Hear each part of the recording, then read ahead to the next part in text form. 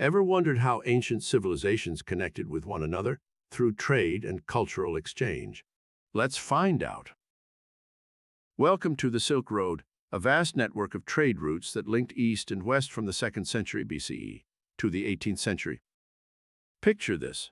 The Silk Road was like the internet of its time, connecting different cultures and allowing for the exchange of goods, ideas, and knowledge. Spanning over 4,000 miles, the Silk Road crossed various terrains, from deserts to mountains, and connected regions such as China, India, Persia, and the Mediterranean. The Silk Road got its name from the lucrative silk trade, but many other goods were traded as well, like spices, textiles, and precious metals. It wasn't just about commerce. The Silk Road also facilitated the exchange of cultures, languages, and religions, shaping the development of civilizations along the way. Fun fact, papermaking technology, which originated in China, was introduced to the Islamic world and Europe through the Silk Road, revolutionizing communication and record-keeping.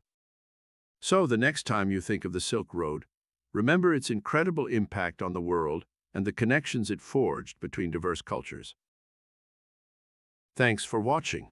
Be sure to like, comment, and subscribe.